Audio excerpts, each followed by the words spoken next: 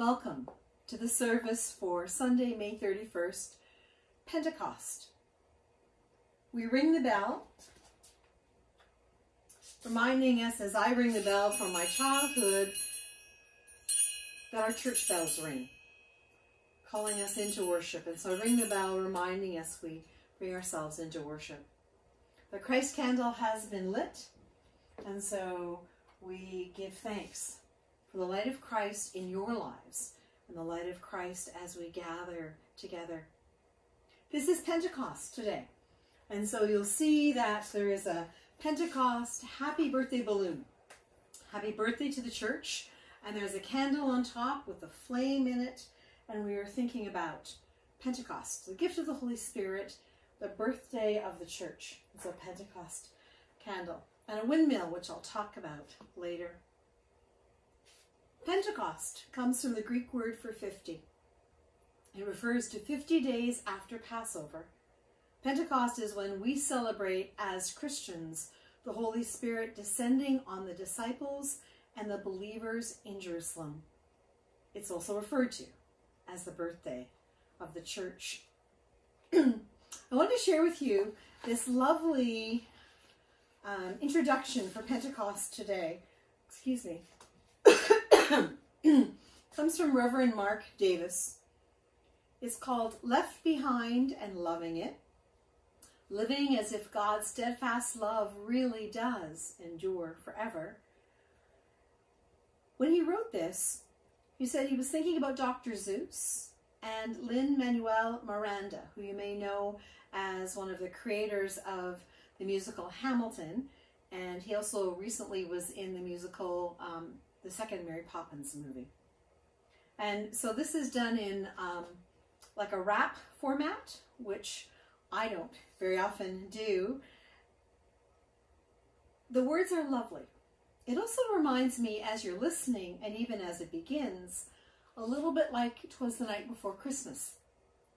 But I'm going to share it with you at the top of the service to help us get um, thinking about and reminding us of the story. So Here we go. The Pentecost story. Twas the day of the fiftieth, the Sabbath of Sabbath, when they were all gathered, an annual habit. They saw their Lord buried, then risen, then taken. They had their hearts broken, but now were awakened. When all of a sudden there rose such a clatter, the people in town came to see what's the matter. The sound of strong winds, tongues dancing of fire, the gathered ones filled with their true heart's desire. With languages, idioms, dialects empowered, they each found their tongue and they used it that hour.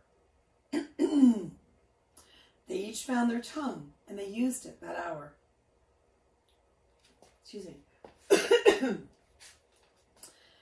and those who had gathered were astonished and wondered is this strange thing onto which we have blundered? Are not these folks common, unlearned, unlettered? How do they speak in the tongues of their betters? We've traveled the world, in Parthia and Rome. We call Cappadocia and Media our home. Now these ignoratia are trying to say that God works in this mysterious way. All of them wondered, but some of them thunk. These people are babbling because they are drunk. These people are babbling because they are drunk. Then Peter stood up and had something to say. You know we're not drunk at this time of day. The thing that is happening that makes us awoke is the very is that very thing that the prophet Joel spoke.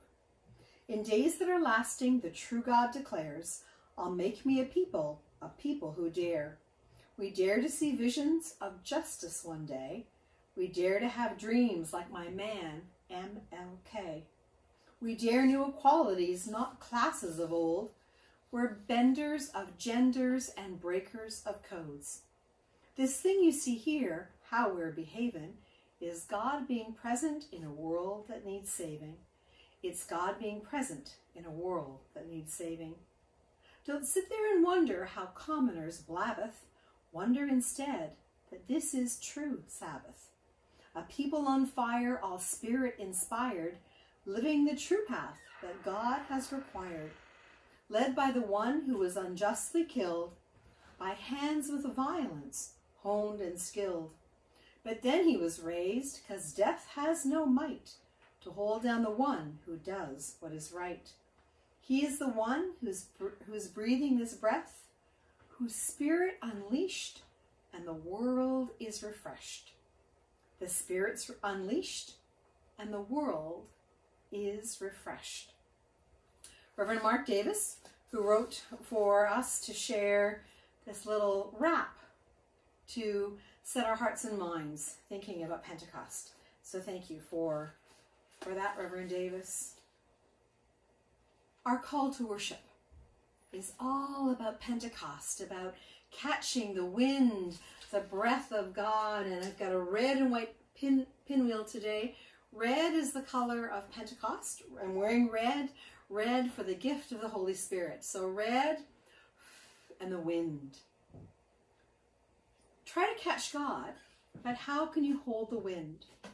Try to copyright God's name, but how can you lay claim to the word that holds everything? Try to describe God's being, but how can you know what the Holy One will do next? This is our time to stand still, to let go, to await God's presence. This is our time to worship God. That was our call to worship. Let us pray.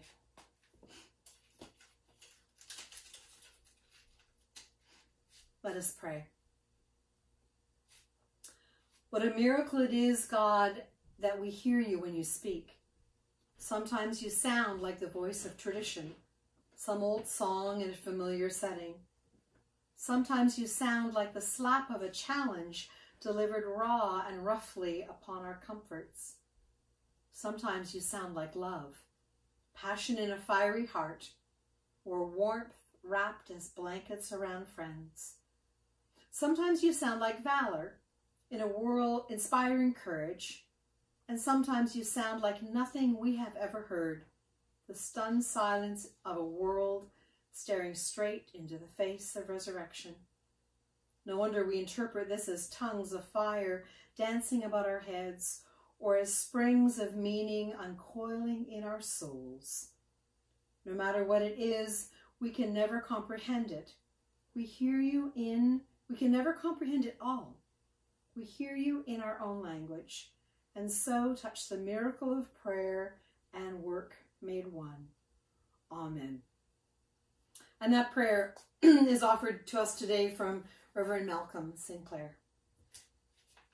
We have we have music that Gail Tanner has um, played for us, um, tucked her iPhone into her grand piano at uh, into her grand piano at home, and so I am just going to um, grab my phone and play for you our first hymn. Our first hymn is Spirit Divine, Attend Our Prayers.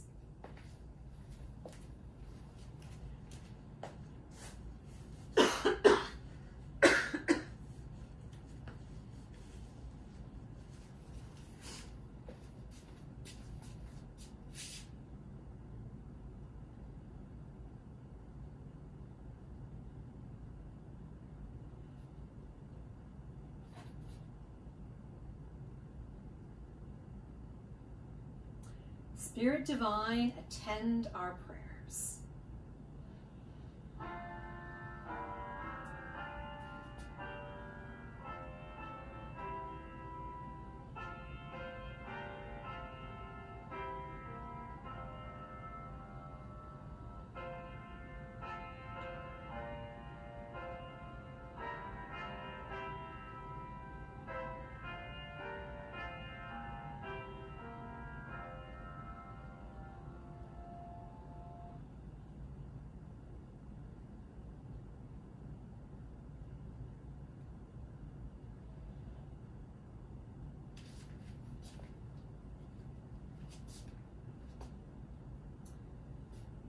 our time for all of us as God's children, we think about Pentecost. We think about being able to celebrate the gift of the Holy Spirit, the gift of God's breath in us. Excuse me.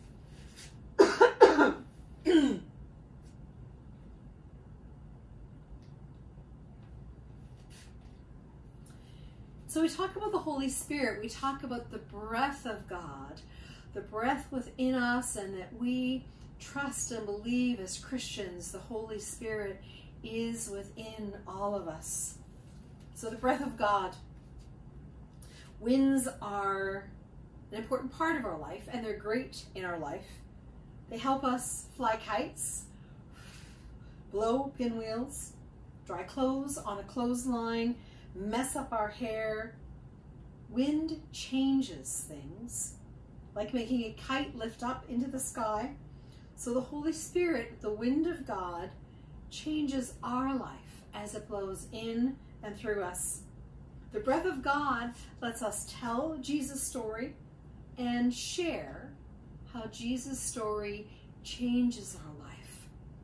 So as you think about the wind blowing in and through your life, think about Jesus being in and through your life and how that changes your life.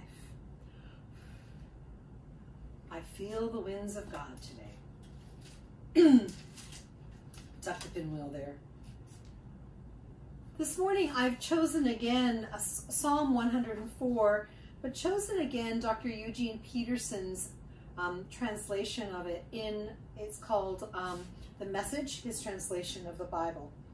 And I've chosen it because his words are wonderful for us and help us think about the strong breath of God.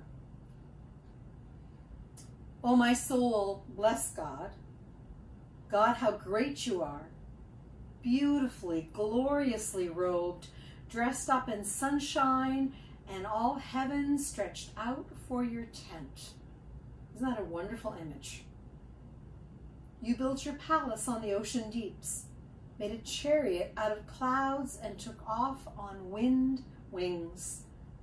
You commandeered winds as messengers, appointed fire and flame as ambassadors.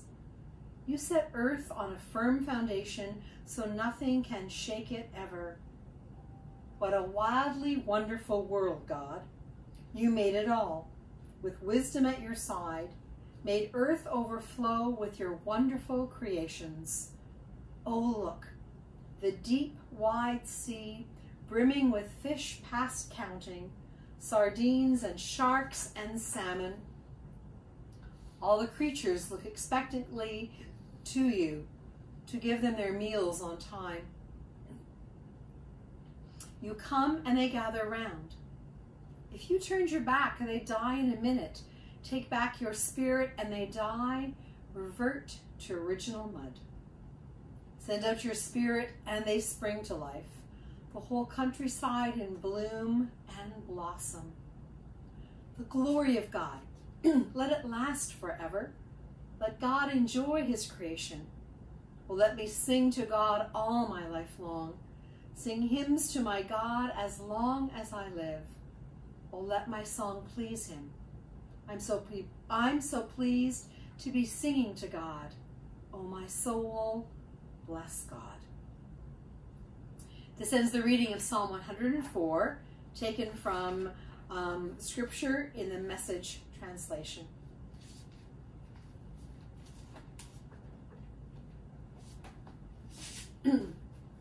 Excuse me.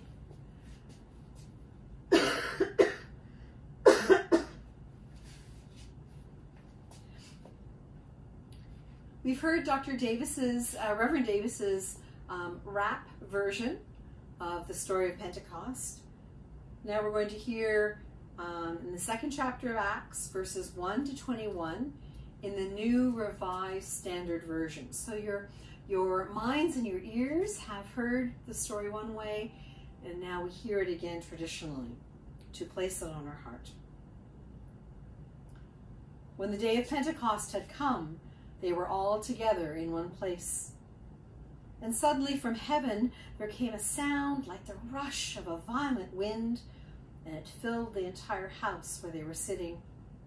Divided tongues as of fire appeared among them, and a tongue rested on each of them. All of them were filled with the Holy Spirit and began to speak in other languages as the Spirit gave them ability. Now there were devout Jews from every nation under heaven living in Jerusalem. And at this sound the crowd gathered and was bewildered, because each one heard them speaking in the native language of each. Amazed and astonished, they asked, Are not all these who are speaking Galileans? And how is it that we hear each of us in our own native language? Parthians, Medes, Elamites, and the residents of Mesopotamia, Judea and Cappadocia, Pontus, Pontus and Asia, Phrygia and Pamphylia, Egypt and the parts of Libya belonging to Cyrene, and visitors from Rome, both Jew and proselytes, Cretans and Arabs in our own language, we hear them speaking about God's deeds of power. All were amazed and perplexed, saying to one another, What does this mean? But others sneered and said, They are filled with new wine. Peter addresses the crowd, but Peter, standing with the eleven, raised his voice and addressed them Men of Judea and all who live in Jerusalem, let this be known to you and listen to what I say. Indeed, these are not drunk, as you suppose, for it is only nine in the morning. No, this is what was spoken through the prophet Joel. In the last days it will be, God declares, that I will pour out my spirit upon all flesh, and your sons and your daughters shall prophesy, and your young men shall see visions, and your old men shall dream dreams. Even upon my slaves, both men and women, in those days I will pour out my spirit, and they shall prophesy. And I will show portents in the heaven above, and signs on the earth below, blood and fire and smoky mist. The sun shall not be turned to darkness, and the moon, sorry, the sun shall be turned to darkness, and the moon to blood, before the coming of the Lord's great and glorious day. Then everyone who calls on the name of the Lord shall be saved. This is the reading from Acts, the second chapter, verses 1 through 21. Thanks be to God.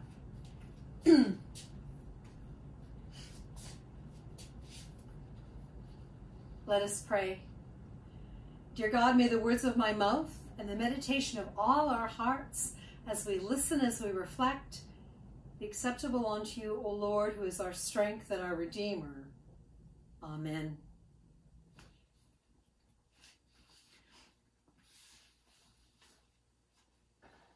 We can we talk about air quality a lot.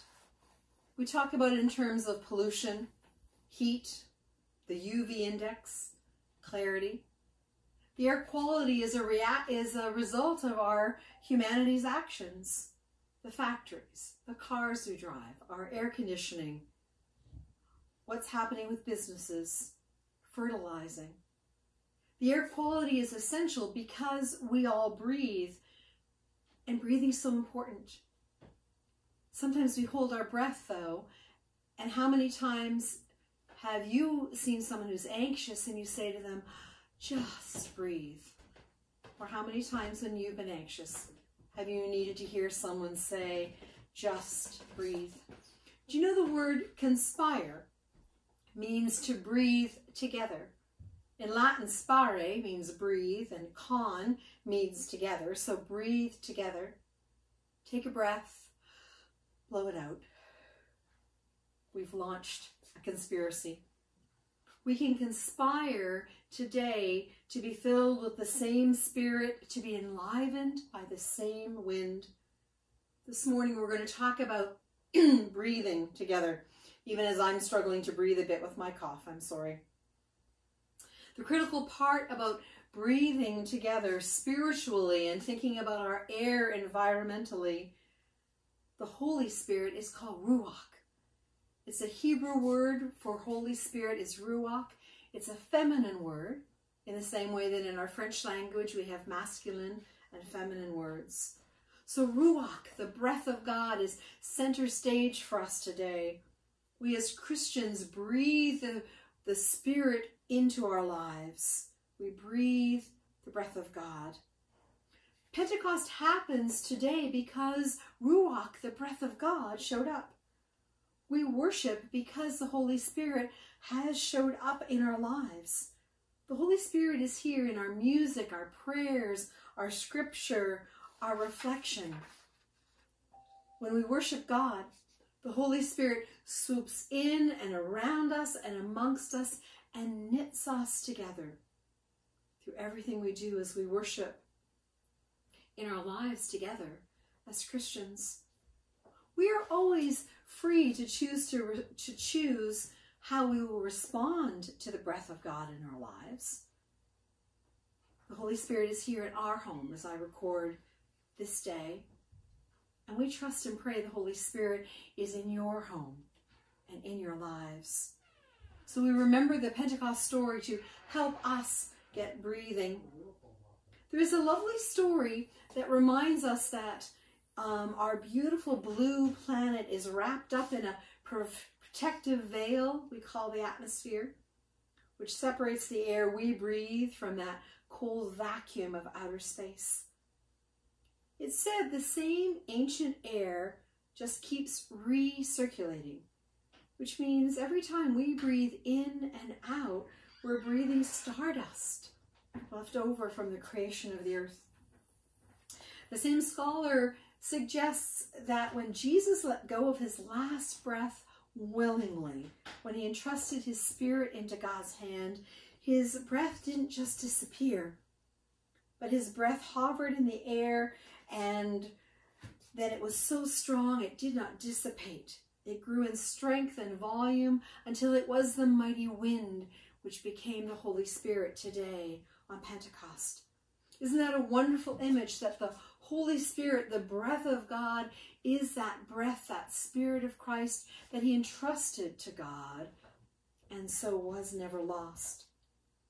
God wanted to make sure that Jesus' disciples and followers were the inheritors of Jesus' breath. Pentecost is radically important because it ties together Jesus' words before the resurrection, Jesus' resurrection, and the time to follow. Do you remember the stories of the disciples arguing about who would be the greatest? This is Jesus' final answer with the Pentecost. This is Jesus' final answer to the 120 who were there that day who weren't sure how to go forward. Before the day was over, we're told the church grew to a large number. Shy people became bold, Scared people became gutsy. Lost people found a direction again. The Holy Spirit, the breath of God, moved the disciples from sadness to joy, from survival to revival. The Holy Spirit empowered Jesus' disciples. The whole point of Pentecost was to transform the disciples. Pentecost is the answer to how they and how we carry out Jesus' last directives to be his witnesses. So how did they experience community? By the touch of the Holy Spirit, they could understand what everyone was saying. They were hearing about God's deeds in their own language. They were amazed and they were perspect. And they were perplexed.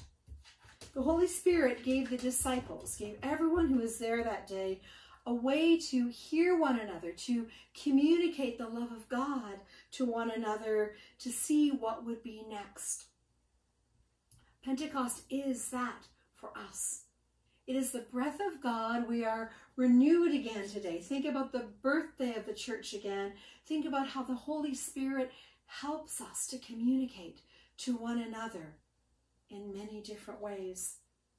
The Holy Spirit gave them the way to communicate to one another, to build that community. Pentecost is so important because we aren't equipped to do all God wants us to do until the Holy Spirit is active in our lives. The Holy Spirit enables us to do what we can't do on our own. It's the gift of God that brings us together. Pentecost is the way the church's future becomes possible. Without Pentecost, we would be we would be people who could tell Jesus' story. But with Pentecost, we can live Jesus' story. In Pentecost, God breaks down barriers that divide us. The power of the Holy Spirit between us and among us helps us share our faith story. We live Jesus' story as we share it with one another. It's not just a quiet, comforting story, but a big, bold, Holy Spirit at work in your life story. The Holy Spirit made Peter brave that day to speak to all who were there to interpret what was happening. The fire and the wind of the Holy Spirit gave Peter the power to boldly tell all who were there that Joel's prophecy would be fulfilled. The fire and the wind of the Holy Spirit gave Peter the strength to share, to be the witness. The Holy Spirit helped Peter say and share God, Joel's prophecy. God declares, I will pour out my spirit upon all flesh. The sons and daughters shall prophesy, and the young men shall see visions, and the old men can dream dreams. We can be brave too. That's what the gift of Pentecost, the gift of the Holy Spirit helps us to be brave too. To breathe, to share that the Spirit of God is in your life, and that makes a difference. In this time of sheltering in place, are you finding more opportunities to consider what's happening in your faith life? In this time of sheltering in place, and for some that means there is more quiet time, for some that means you are active and busier, but in this time of sheltering in place, is there a time to listen to the dreams God is giving you, to listen to how God is guiding you. Can we take the beauty of Pentecost seriously? What miracles can the Holy Spirit perform in churches, in our communities, as it's embraced and celebrated in our midst? We are church in new ways. We're not in our building right now, but we are church as we worship, as we care for one another, as we continue to do outreach with the food bank, with the Inn of the Good Shepherd, in many ways. Are you uncertain about what we can do? Consider the gift of the Holy Spirit, the gift of Pentecost, is the gift of something to say. It's the gift of a word that can be spoken in a time of brokenness or tragedy, if people are lonely or sad, the gift of the Holy Spirit is a gift of word to say, a gift of word, word of faith to say. The Holy Spirit moves us from silence to language. At Pentecost, the first Pentecost, the Holy Spirit talked and the whole world heard the good news. At Pentecost, we're encouraged to keep the fire, the flame of the Holy Spirit going to witness, to hear, to expand the work of the Holy Spirit? How do we keep the flame, the Christ flame, the flame of the Holy Spirit active? There's a story that took place in a palliative care ward in a hospital. There was improvements in patients, in patients' well-being on certain days in the palliative care ward when a certain personal support worker, PSW, was working. When the physician wanted to investigate what was happening, why there was improvements in well-beings on certain days. She went and spoke to the PSW. The physician asked the PSW what she was doing differently. And the PSW answered the physician, she was telling the people that God doesn't abandon them that they are not alone, that God is with them. The PSW was telling them the Pentecost words from 2,000 years ago, God is here. God loves you. The breath of God is within you. We sing the hymn, Spirit of Gentleness. The chorus is, Spirit of gentleness, blow through the wilderness, calling and free. Spirit, spirit of restlessness, stir me from placidness, wind, wind on the sea. We don't want to be placid in our faith. Can you be encouraged to see that just as we need breath to live, so to live, we need to connect to God every day.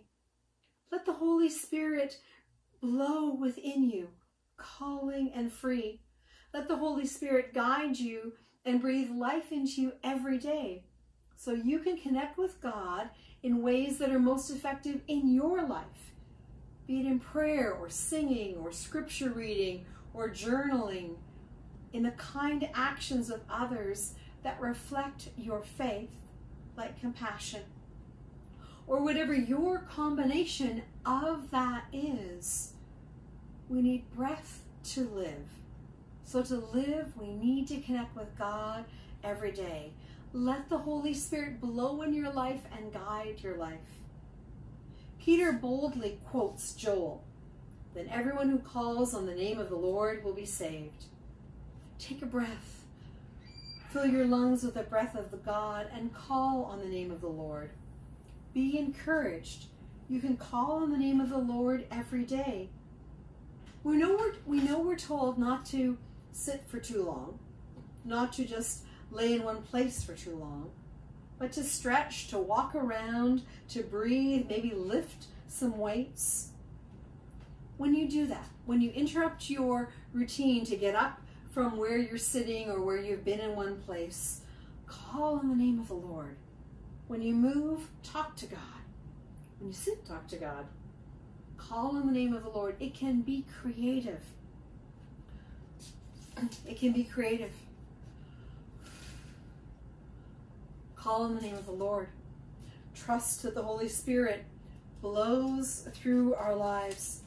the Holy Spirit caused people to hear Peter's message and receive it and follow it. The Holy Spirit transcended all the differences to accomplish God's many purposes. Can we let the Holy Spirit fly in our lives?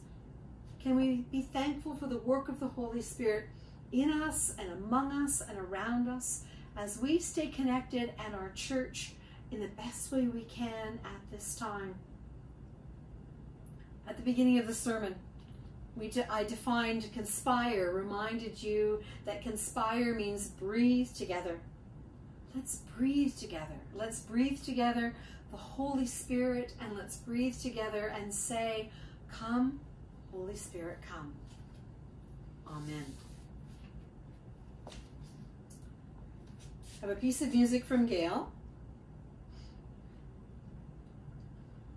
Spirit of Gentleness.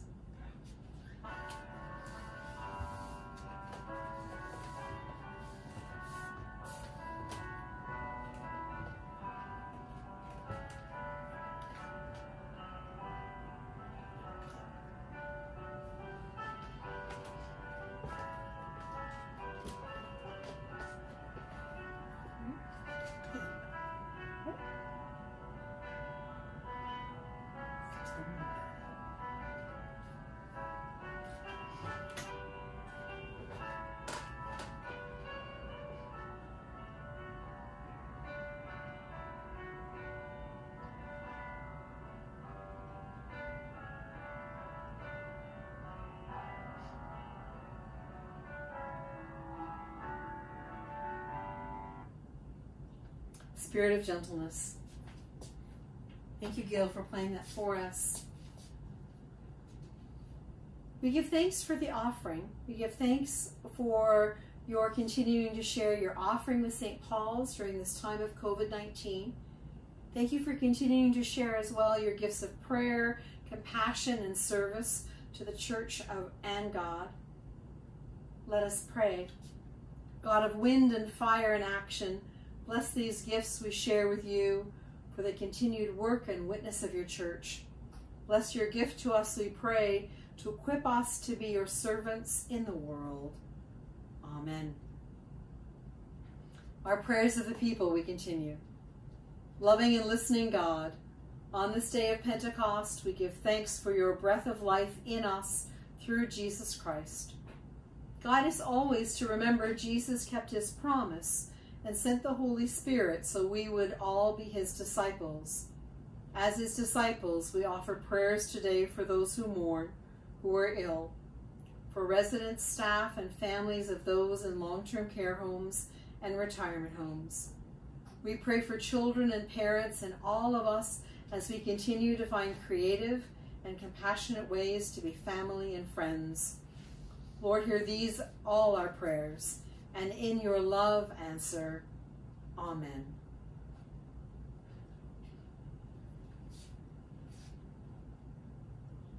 We trust that in your day you have prayed the Lord's Prayer, maybe in the morning, maybe in the evening, and maybe together. As I pray it, you will pray it with me. Our Father who art in heaven, hallowed be thy name. Thy kingdom come, thy will be done on earth as it is in heaven. Give us this day our daily bread, and forgive us our trespasses as we forgive those who trespass against us. And lead us not into temptation, but deliver us from evil. For thine is the kingdom, the power, and the glory, forever and ever. Amen. One of the Pentecost hymns is called On Pentecost They Gathered. Just go to the next piece.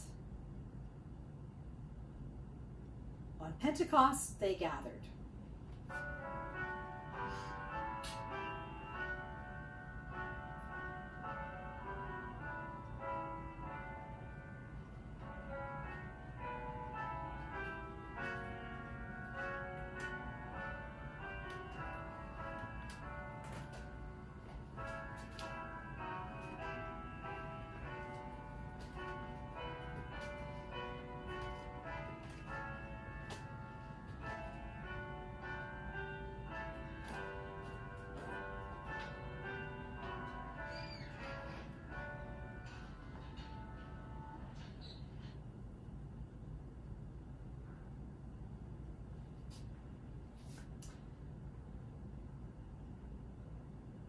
Just need to find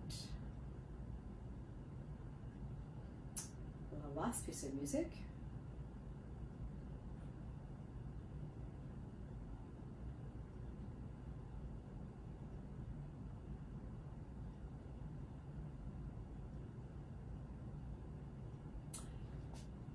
The last piece of music is Go Now in Peace. And we're going to hear um, Gail play it for us and we'll see if um, this time I'm a little more connected to the music as um, we hear it.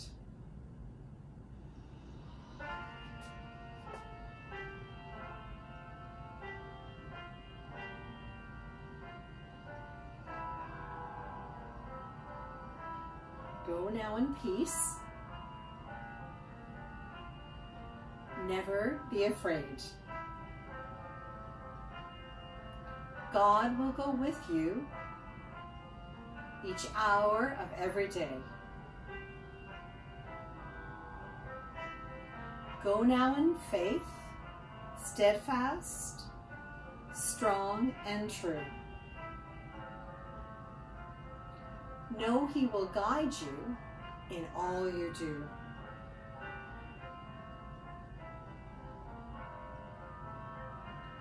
Go now in love and show you believe.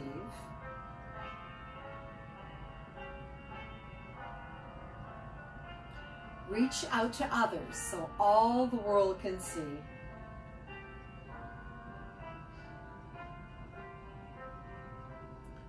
God will be there watching from above.